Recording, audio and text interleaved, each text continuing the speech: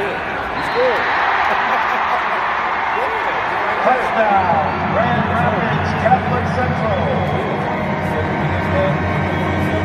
Connor Wood on the 10-yard